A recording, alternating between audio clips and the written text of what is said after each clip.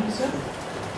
And dear friends, I'm uh, especially thankful to GRFDT for uh, giving me an opportunity to present my paper in front of such a, such an interesting and uh, and impressive audience.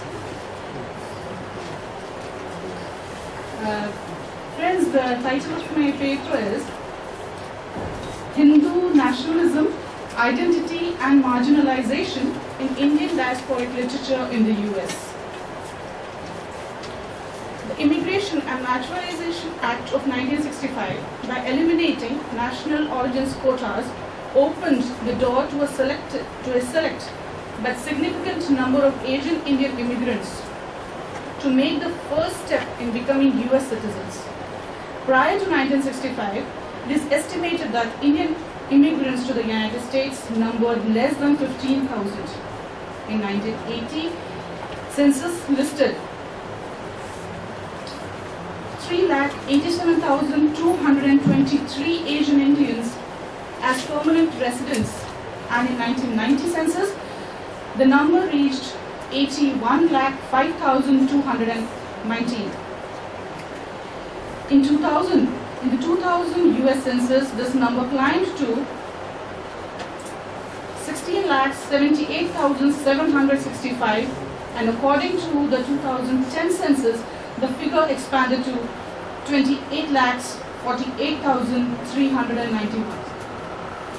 Indians are amongst the fastest growing ethnic groups in the country and wield a disproportionate influence since they are among the wealthiest and the most educated foreign born groups in this country, having a median income of 61,322, which is uh, $22, which is almost double the median income of all American families. 200,000 Indian Americans are millionaires. More than 35,000 are physicians. 300,000 work in high-tech industries. 58,000 of the community over the age of 25 have a college degree. 43.6% of the Indian Americans in the workforce are employed as managers or professionals. 15% of the Silicon Valley startup firms are owned by Indian Americans. More than 5,000 Indian Americans are in the faculties of various American universities. 74,603 Indians are studying in the United States, making Indians the largest group of foreign students in the country. The 2000 census reports that the unemployment rate of the Indian American community with 1.75% is lower than the unemployment rate of the general population with 1.93%. Indians are not behind in carrying with them their food, music and literature to the American shores.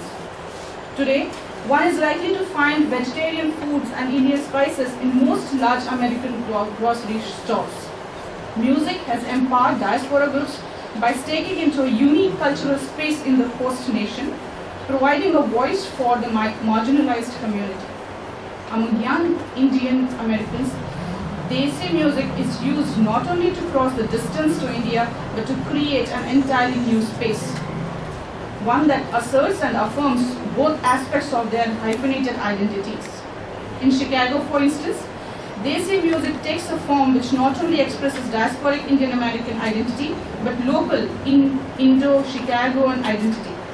Many Asian Indian writers have produced a good work dealing with their migration to foreign land and the experience of being away from home. The works also reflect their various efforts to adapt with the new environment while preserving their own identity. Let's have a look how, uh, how, how Hinduism traveled to US as this paper focuses especially on the Hindu diaspora. Although there is no official figure on the religious distribution of Indians in the United States, the estimated Hindu population in the US is now 9,000, 9,30,000. Or we can say that about half of the Indian diaspora in US comprises of Hindus. While the arrival of Indian immigrants to the US after the passage of the Immigration Act of 1965 significantly hastened the growth of Hinduism, these were not the first to cultivate the seeds of Hinduism on American soil. The history of Hinduism in America began long before any guru or teacher came to these shores. During the 17th uh, century, missionaries and members of the British government working in India had many sacred texts translated into Sanskrit, translated, uh, translated from Sanskrit into English. These books made their way to America. The Bhagavad Gita became a favorite text of the noted American transcendentalists Ralph Waldo Emerson, Margaret Fuller, and Henry David Thoreau. The writings of Emerson and Thoreau created a climate of interest and familiarity with strands of Hindu thought from Swami Vivekananda, who arrived in the US in 1893 to speak at the World's Parliament of Religions, held in conjunction with the Chicago World's Fair. Vivekananda's impact on the parliament was memorable, and it was followed by two years of intense lecturing along the eastern and the western coasts of the US, and also in cities like Minneapolis, Des Moines, Detroit, and Memphis. He established bran- branches of the Americas' first Hindu organization, the Vedanta Society, in New York in 1894 and San Francisco in 1899. Still earlier, the impact of Hindu ideas came through the efforts of an Indian guru named Ram Mohan Roy. He started a group called Brahmo Samaj to transmit to Indians his thoughts about the Upanishads. Roy taught that the highest form of uh, spirituality should be understood without the many colorful deities in other Hindu writings. Roy's first book, The Precepts of Jesus, was brought to the United States in 1825. The ideas in the book found some acceptance with the early Unitarians, Unitarians in America who believed that God should be worshipped alone and not as a Trinity, Trinity divided as dividing into the Father, Son, and the Holy Spirit, as many Christian denominations did. The Unitarians the Unitarians and the Brahmo Samaj developed close bonds that they continue to share even today. Hindu immigration to America has added another diverse and interesting dimension to the busy world of religion in America. As the number of followers in Hinduism increased, they built temples dedicated to Shiva, Vishnu, and the numerous other gods who are held in high regard. The temples serve as central locations where Hindus can come together to worship during holy festivals and socialize with other Hindus. Temples in America reflect the colorful kaleidoscope, kaleidoscopic aspects contained in Hinduism while unifying people who are dispersed throughout the American landscape.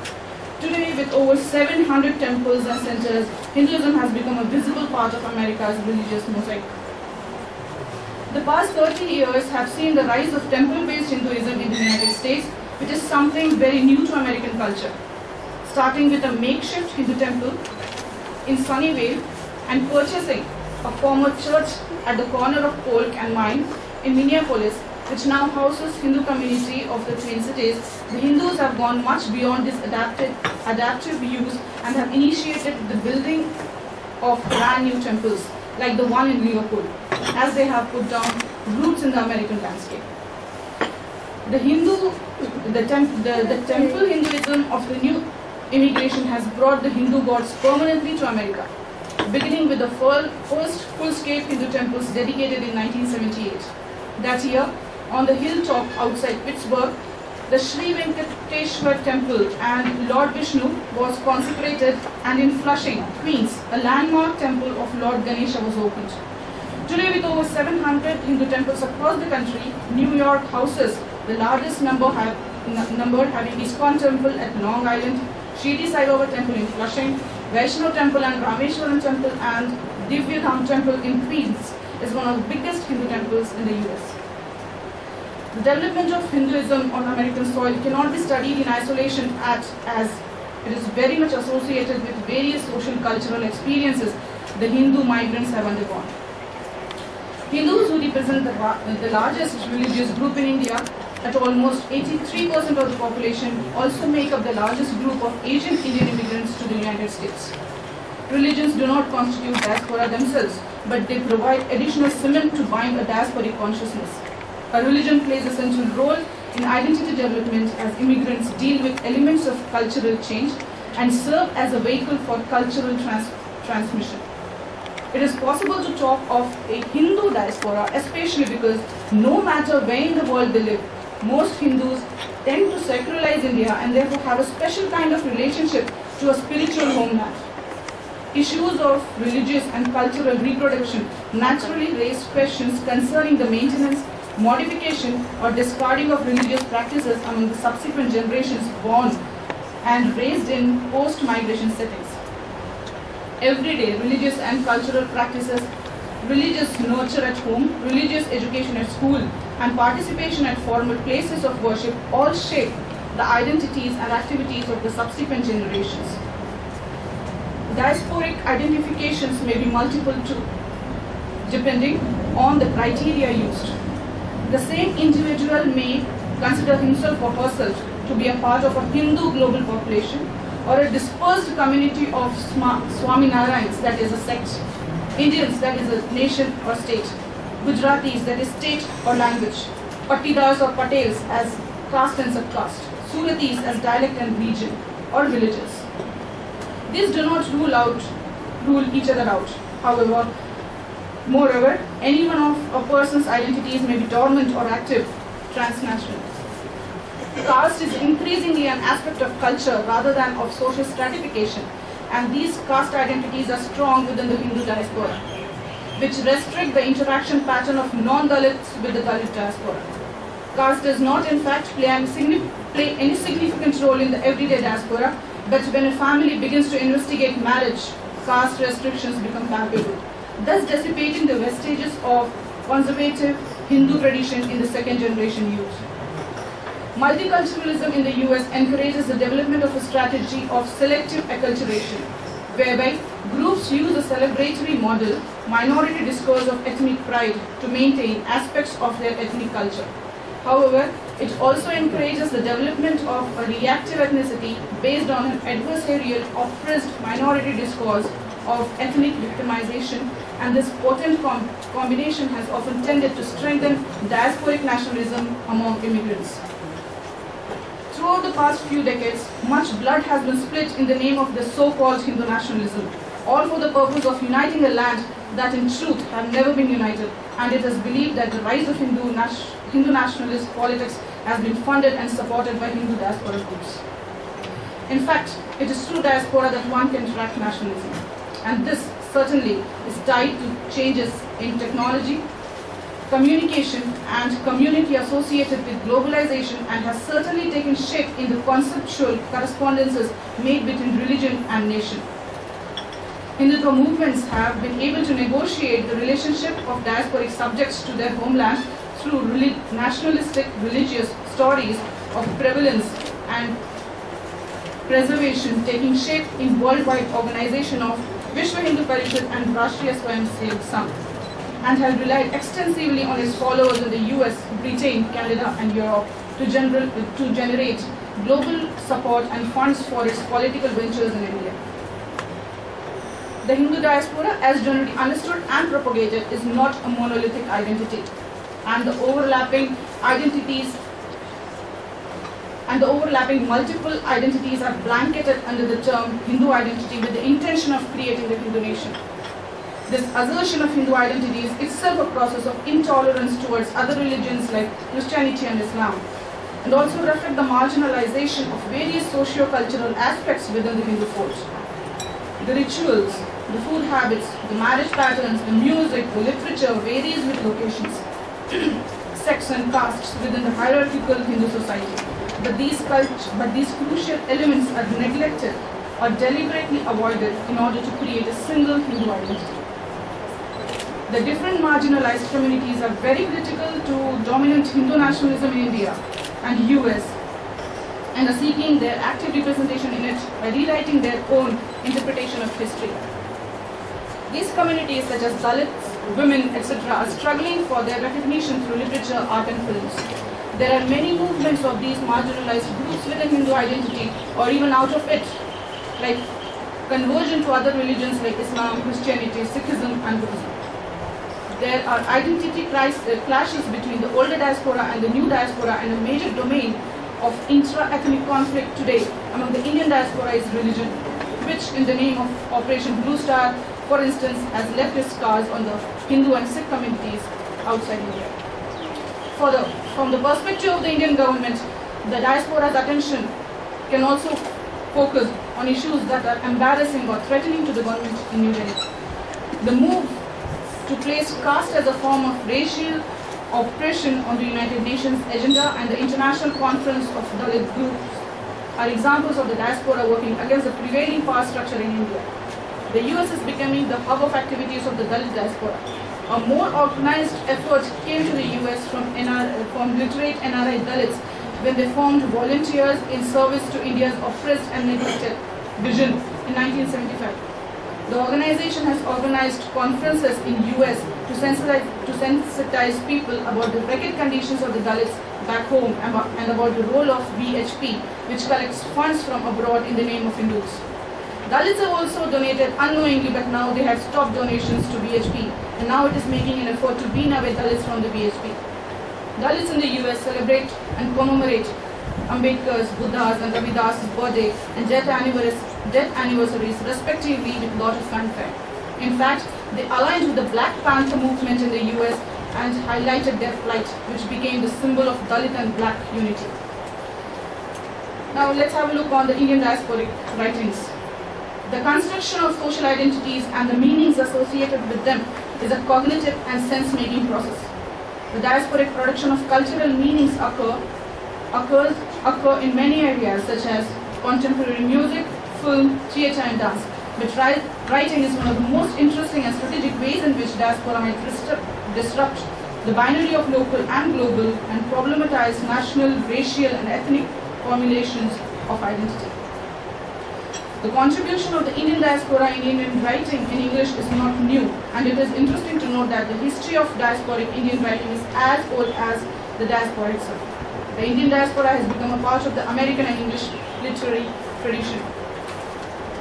The writers like Anita Desai, Bharti Mukherjee, Shashi Tharoor, Amitav Ghosh, Vikram Seth, Sunetra Gupta, Jhumpa Lahiri and Hari Kunjru have all made their names while residing abroad and explored their sense of displacement, a perennial theme in all their works, giving birth to the sense of displacement and ruthlessness. Instead of worshipping the leftovers and relics of a now inaccessible homeland as the, as the old diaspora of endangered laborers did, the new diaspora of international Indian English writers live close to their market in the comforts of the suburbia of advanced capital, but draw their raw material from the inexhaustible imaginative resources of that messy and disorderly subcontinent that is India, and record their away from India experiences, often in an elegiac tone rather than with nostalgia. Ultimately, increasingly, identifying themselves with the, with the literary tradition of the migrant writers of the world. Indians don't have a common history, especially of suffering, that binds them and they have loyalties to a place and its cultural environments, which is not adequate to create that cohesion behind a world of literary art. Instead of cultures, the great Indian writers write about experience of their subculture, which preclude a larger Indian audience from appreciating the literature. Thus, the local authors overpower potential national authors in India and that trend is exported to America. While the earlier non, uh, while the earlier Indo-Anglian writings like those by the avowedly socialist author Mulk Raj Anand in his Untouchable 1935 and Coolie in 1936 and by Kamla Markandaya in her Nectar in a Sieve 1954 and A Handful of Rice 1966 deals sympathetically and fairly with the lower caste and class, non-English speaking segments of Indian society. The works produced by Indian writers in the US in recent times reveal a clear bias in favor of classical, Brahminic and therefore exclusionary, intended to produce an effect of a pure Indianness, with little attention to its class and caste-based social, communal and religious inequalities. Emmanuel S. Nelson's two edited books, Reworlding the Literature of the Indian Diaspora and the Writers of, and the Writers of the Indian Diaspora, a biobibliographical source, critical source book, firmly establish the literary contours of Indian diasporic writings. The strength of the two books lies in their refusal to homogenize the experiences and histories of various groups of diasporic Indians, even as they attempt to bring the literary work produced in these circumstances under the rubric of literature of Indian diaspora. And I would conclude with most writings on diaspora today have in fact marginalized the factor of religion and relegated it to the second place in favor of ethnicity and nationality. But as new nations are constituted daily, it is becoming increasingly difficult to locate the nation in, in national literatures. Thus, the literature produced out of dias- diasporic experiences has always has always been in the business of constructing fictions that fit realities that they that don't fit realities. This is possible because big issues like religious intolerance and racial discrimination are no longer the main concern of these writers.